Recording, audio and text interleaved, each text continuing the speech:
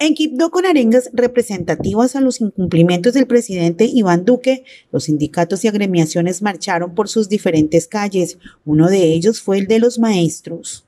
El señor Duque se la pasa bien campante. Los militares masacran a los manifestantes. Para el caso de los maestros, los acuerdos que recientemente se firmaron, el gobierno ha mostrado una apatía por por darle cumplimiento a los mismos.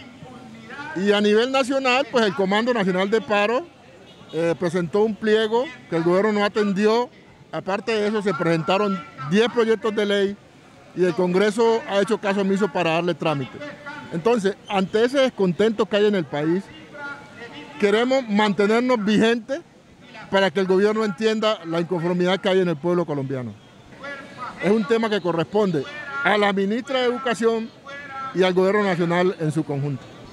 Eh, hay una reforma tributaria maquillada, sigue la violencia, sigue el desorden. En medio de la pandemia se están creando eh, decretos al interior del gobierno nacional que son lesivos para la comunidad y especialmente para la juventud. Central Unitaria de Trabajadores, luchando y combatiendo a los explotadores. Central Unitaria de Trabajadores, luchando a los explotadores. ¿Qué está exigiendo la protesta nacional? ¿Qué está exigiendo la protesta nacional? Mayores recursos.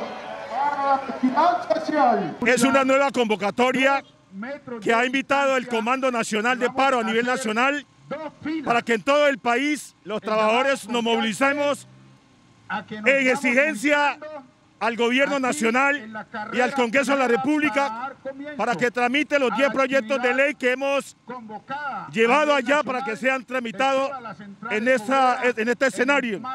Estos 10 proyectos de ley benefician a más de 30 millones de colombianos. Son 10 proyectos de diferentes índoles, en materia de salud, en materia de educación, en materia de beneficio para los colombianos y para los trabajadores. Es claro que se marcha y se protesta por las incoherencias del gobierno, donde el gobierno manifiesta que ayuda al pueblo y realmente no lo está ayudando, sino que están desarrollando unas políticas para la clase oligárquica para los ricos y a los pobres lo que hacen es masacrarlos. Los marchantes también se solidarizaron por la crisis humanitaria que sufren los territorios afro e indígenas del Chocó. La crisis humanitaria del Chocó es de vía data. Los sectores, los grupos armados tienen confinado y amenazado a las poblaciones. Y por supuesto, en Quito estamos denunciando el etnocidio contra los jóvenes, más de 100 jóvenes asesinados en lo que va corrido este año aquí en la capital de los chocuanos. Por eso estamos denunciando y denunciando ante la comunidad internacional y el gobierno nacional para que mire la situación que estamos padeciendo en materia de, seguridad y crisis humanitaria en el, Chocó. Estamos pidiendo que cese la violencia en el departamento del Chocó y especialmente en Quito. Invitamos a todos los actores al margen de la ley a de poner sus armas a buscar una negociación civilizada y por intermedio del diálogo. Sabemos que el gobierno no da nada, siempre y cuando tú no protestes. Todo lo que se ha conseguido a lo largo y ancho de la geografía colombiana y chocuana se ha conseguido a través de la lucha y a través de las marchas.